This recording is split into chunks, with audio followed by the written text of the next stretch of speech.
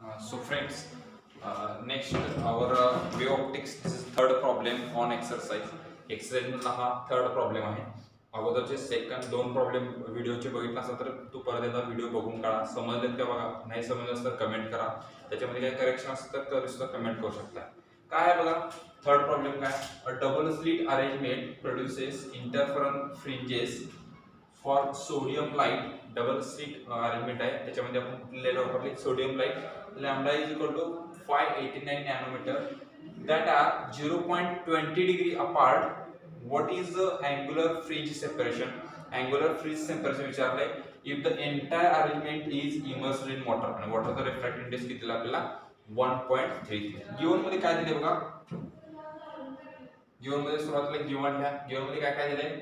Refractive index of water किती दिला त्याला आपल्याला? वन पॉईंट थ्री आणि ते- तिथला घेतला अँग्युलर सेपरेशन काढायचं. अँग्युलर फ्रेंज सेपरेशन काढायचं आहे. म्हणजे इथला आपल्याला थिटा डॅश काढायचा आहे. काय थिटा डॅश आहे? सांगेल मी तुम्हाला. नेक्स्ट आपल्याला थिटा दिला आहे. एक थिटा दिला आहे. तो किती आहे? झिरो पॉईंट ट्वेंटी डिग्री दिलाय त्याच्यानंतर आपण काय अजून काय दिलं आपल्याला? वेवलेन दिली. वेवलेन किती दिले? फाय एटी नाईन दिले. फाय एटी नाईन वेवलेन दिली. आपल्याला काढायचं आहे थिटा डॅश काय आहे बघा? Five eighty nine nanometre nanometre म्हणजेच five eighty nine ten to minus nine metre okay काय काय केले बघा? हा आपला काय असेल? स्लीप एस वन ही एस टू ही तुम्हाला काय स्क्रीन आहे. आणि या स्क्रीनवरती मला काय फ्रीज सेपरेशन मिळेल. इथे एक फ्रीज इथे एक फ्रीज इथला हा माझा काय असेल? अँगल थिटा फ्रीज सेपरेशन हा माझा अँगल दिला हा थिटा दिला मला. आणि हा जर इमर्स वॉटरमध्ये केलं हाच एक्सपेरिमेंट सगळा वॉटरमध्ये करायला लागलो मी एक्सपेरिमेंट तर त्याच्यामध्ये काय आपलं थिटा डॅश काय मिळेल? सुरुवातीला theta zero point twenty degree मिळाला होता. आता थिटा काय मिळेल? तो थिटा आपल्याला कॅल्क्युलेट करायचा आहे. काय बघा? The angular fringe separation formula the angular fringe separation the angular fringe separation the angular fringe separation theta is equal to lambda upon d theta is equal to lambda upon म्हणजे wavelength D म्हणजे कसं distance between two sources तुम्हाला माहिती आहे.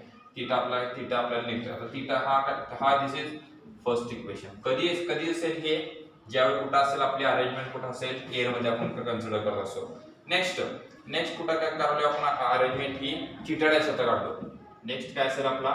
Theta dash कुठे गेलो वॉटरमध्ये काढलो theta dash is equal to काय येईल? लॅम्बडा डॅश काय असेल? Lambda dash. कारण wavelength lambda dash upon D. Lambda dash upon D.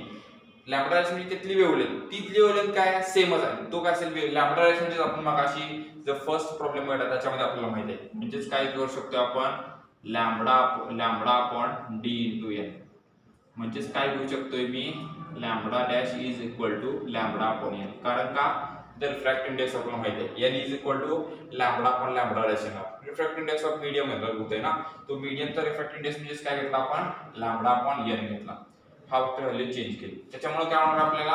हे इक्वेशन नंबर किती मिळाला आपल्याला? हे इक्वेशन नंबर पुढे घेतो. This is equation number two because काय मिळालं? Lambda dash is equal to lambda upon N ना आता काय करायचं बघा? Equation two divide by equation one. आता काय करायचं?